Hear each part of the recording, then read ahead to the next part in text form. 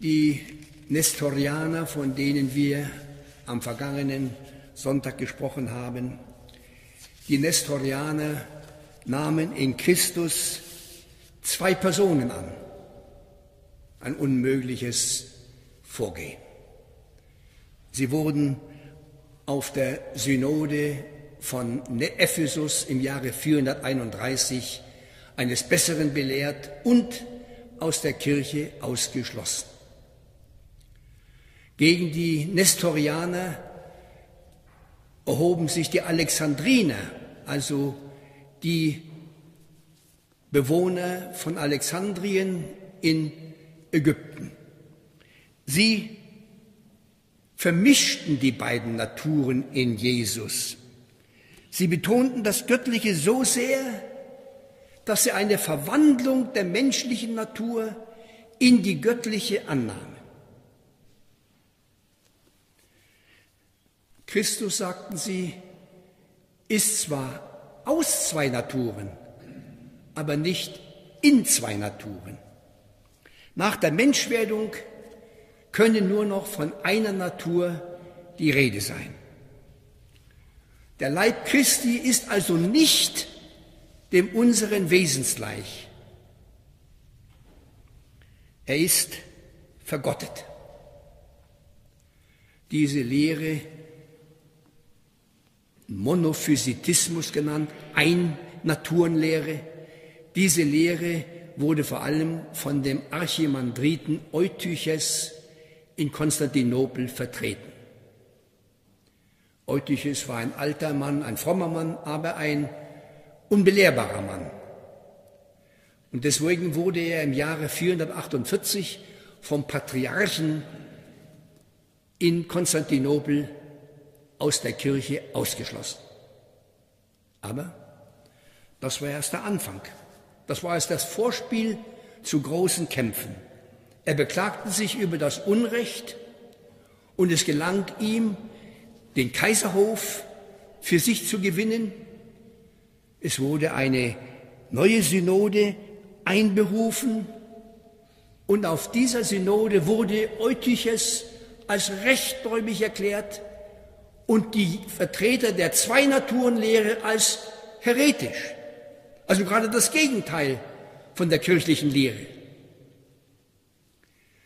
Der Papst, es war damals der große Leo I., der Papst hatte einen einleuchtenden und durchschlagenden Brief an die Synode geschrieben.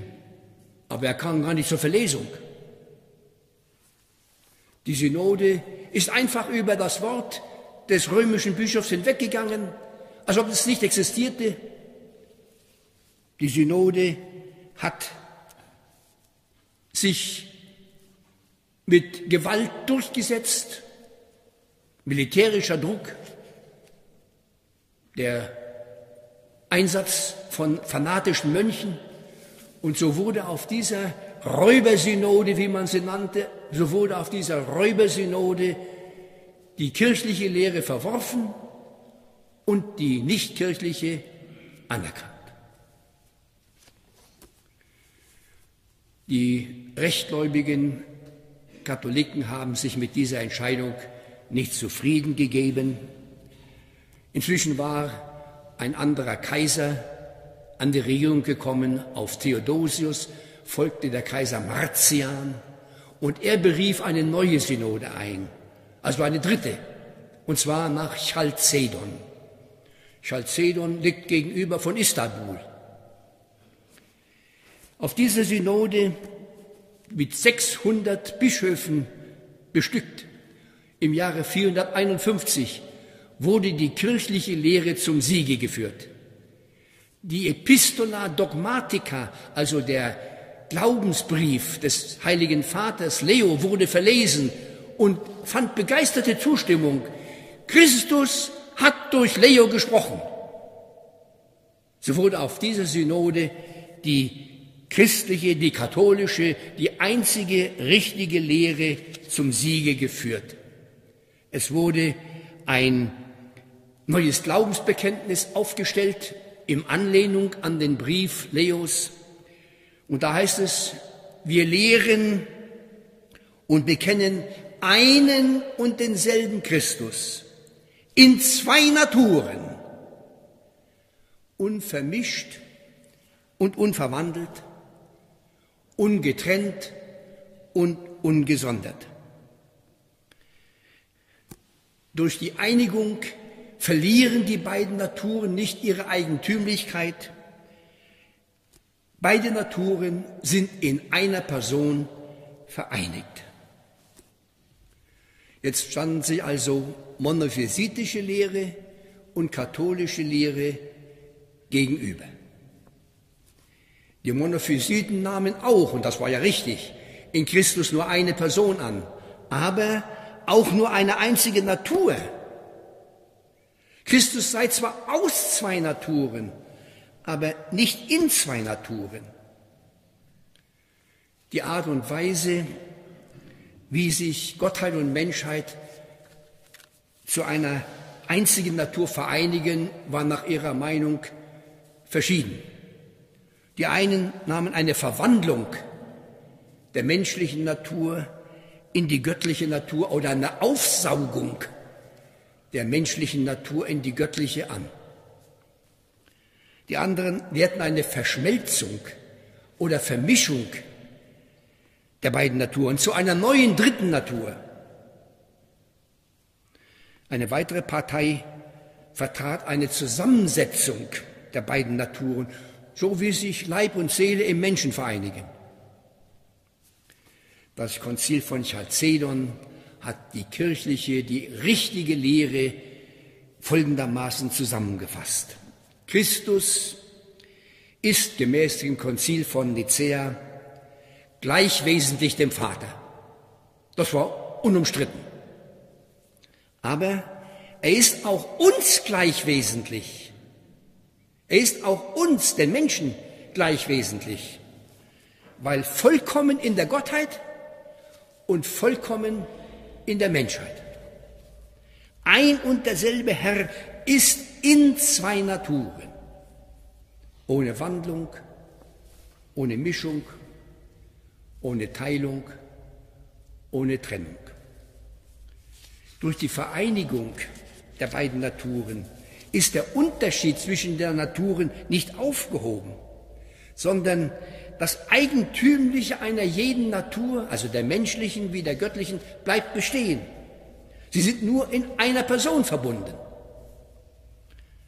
Es gibt nicht einen in zwei Personen geteilten, sondern nur einen einzigen eingeborenen Sohn, den göttlichen Logos, den Herrn Jesus Christus. Die Unhaltbarkeit der Position der Monophysiten wurde schon früh von den Kirchenvätern dargetan. Sie wiesen auf die innere Unmöglichkeit der monophysitischen Lehre hin. Warum unmöglich? Sie widerspricht der absoluten Unveränderlichkeit und unendlichen Vollkommenheit Gottes. Eine Verbindung in der Natur, also gedacht als Vermischung der Naturen, eine Verbindung in der Natur, bringt aber eine Veränderung in Gott hinein. Das ist unmöglich, denn Gott ist unveränderlich. Gott kann weder durch Wandlung noch durch Vermischung noch durch Zusammensetzung mit einem Geschöpf zur Einheit der Natur sich zusammenschließen. Dem widerstrebt seine Unveränderlichkeit und absolute Einfachheit nach dem Zeugnis der Heiligen Schrift, ist Christus wahrer Gott und wahrer Mensch, das heißt Inhaber der unversehrten göttlichen Natur und Inhaber einer unversehrten menschlichen Natur. So schreibt ja Johannes zu Beginn seines Evangeliums. Und das Wort, der Logos, die zweite Person in Gott, und das Wort ist Fleisch geworden, das heißt ist Mensch geworden und hat unter uns gewohnt und wir haben seine Herrlichkeit gesehen, die Herrlichkeit des Eingeborenen vom Vater, voll der Gnade und Wahrheit. Der göttliche Logos hat sich das Fleisch, das heißt eine unversehrte Menschennatur, angeeignet. Sie fragen mich vielleicht, ja, sind denn diese Unterschiede so wesentlich? Muss man sich deswegen streiten? Muss man sich deswegen gegenseitig ausschließen? Ja, wegen der großen Konsequenzen, die die falsche Lehre hat. Ich will Ihnen diese Konsequenzen vorführen. Erstens, die Monophysiten lassen das Menschliche in Christus vom Göttlichen verschlungen sein, sodass es in ihm nur eine einzige Natur gibt, die göttliche. Dieser Irrtum ist ein Kind der hellenistischen Verachtung des Leibes und übersteigerter Geistigkeit. Seine philosophische Heimat ist der Platonismus. Die Platoniker sprachen, das Eigentliche sei nur den Ideen zu, während die Einzeldinge nur ein Schattendasein haben. Diese Vorstellung wandten die Monophysiten auf die zwei Naturen in Christus an. Sie dachten sich die Auflösung der menschlichen Natur in die göttliche als eine Konversion, eine Umwandlung oder eine Komposition, eine Zusammensetzung. Diese Ansicht führt mit der Aufhebung der wahren Menschheit Christus zur Zerstörung des Erlösungswerkes. Denn Christus hat uns erlöst in seinem menschlichen Leibe. Durch sein Leben, Leiden und Sterben hat er uns erlöst. Wer diese menschliche Natur Christi abbaut, der zerstört das Erlösungswerk.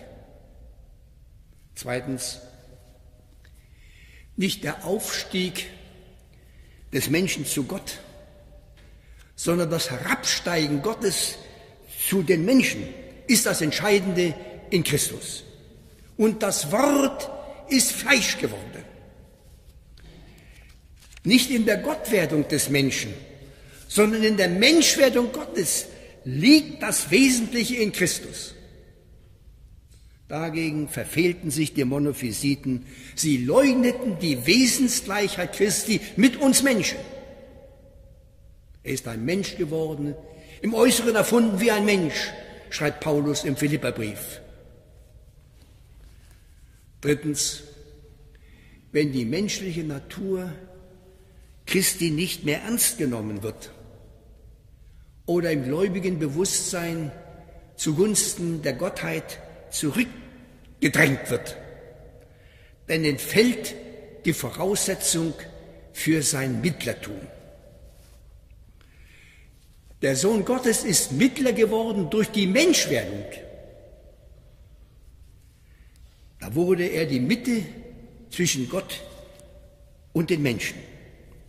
In der menschlichen Natur ist der Hohenpriester, der für uns opfert, der Weg, auf dem wir zum Vater gelangen.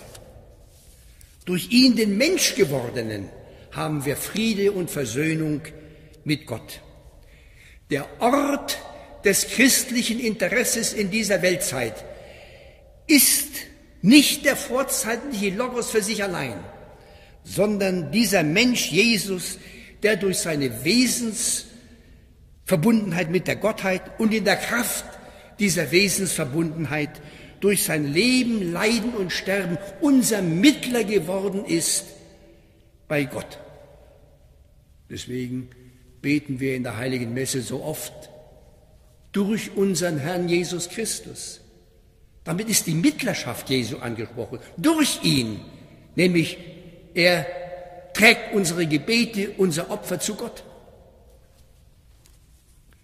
Viertens, in der Frömmigkeit wirkt sich der menophysitische Irrtum so aus, dass nicht mehr durch den menschgewordenen Sohn zum Vater gebetet wird, sondern dass, was freilich auch möglich ist, vor allem er selbst angebetet wird. Wir beten, wie ich schon sagte, in der heiligen Messe durch Christus zum Vater. Wer aber die menschliche Natur Jesu geringschätzt oder verschwinden lässt, der betet nur noch zu Christus. Da ist Jesus nicht mehr der Repräsentant der Menschen, nicht mehr der Anwalt der Menschen, nicht mehr der Erstgeborene unter den Brüdern, sondern er strahlt dann nur noch im unnahbaren Licht der Gottheit. Er ist in Unendlichkeiten von Menschen entfernt. Und als solcher Erhabener vollbringt er das Opfer des Altares. Fünftens, wenn der Glaube an Jesu heiligste Menschheit zurücktritt, dann schafft man sich dafür Ersatz. Wodurch? Durch die Heiligen. Als der Glaube an Jesu heilige Menschheit zurücktrat, nahm die Verehrung der Heiligen zu, teilweise ungemessen zu. Die Heiligen lösten sich gewissermaßen vom Mittlertum Christi los und verselbstständigten sich.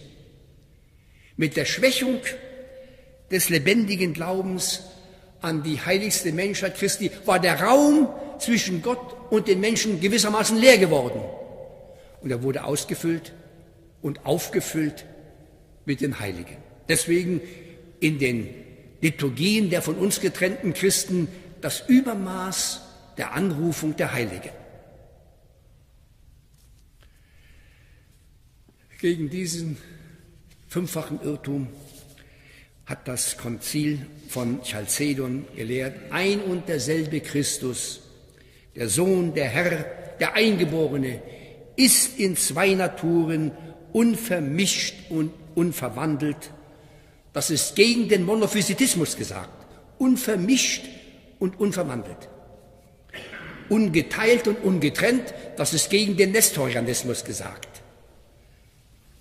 Der Unterschied der Naturen wurde infolge der Einigung niemals aufgehoben, sondern die Eigentümlichkeit beider Naturen blieb erhalten.